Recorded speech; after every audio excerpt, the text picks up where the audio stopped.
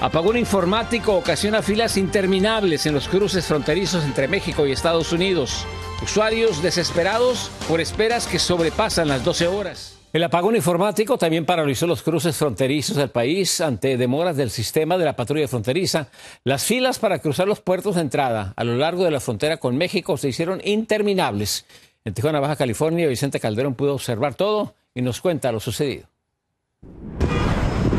El cruce por la frontera México-Estados Unidos ha vuelto a su lentitud normal por San Isidro después del apagón tecnológico que prácticamente paralizó sus actividades, alterando la vida de millones de personas en los límites de ambos países. Tuvimos que todos nuestros planes hacerlos pues o sea, retrasarlos. Los problemas iniciaron poco después de las 10 de la noche del jueves, alterando el tránsito transfronterizo. Que ahorita que llegamos ya estaba mucho más tranquilo, pero si hubiéramos, si nos hubiéramos venido aquí más temprano, nos hubiéramos quedado estancados por mucho tiempo.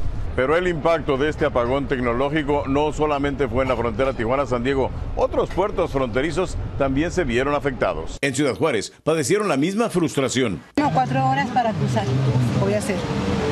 Buen día, saludos a todos los Me extraña que tanta ciencia tan avanzada que está acá en Estados Unidos no hayan podido arreglar esa falla.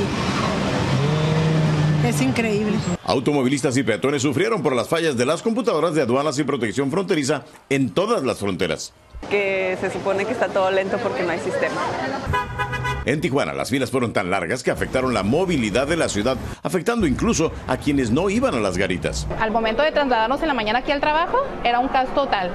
O sea, era, yo hice, entro a las 8 y llegué a las 10 de la mañana. Pero los que quedaron atrapados en la fila fueron los que más se quejaron. Los familiares que trabajan, que iban a pasar, sí tuvieron muchos, pues muchos problemas para el momento de cruzar. Hicieron más de eh, tocó 6, 7 horas. El aeropuerto de Tijuana también reportó cancelaciones y retrasos de vuelos, pero poco a poco se han ido regularizando. En Tijuana, Vicente Calderón, Noticias Estrella TV.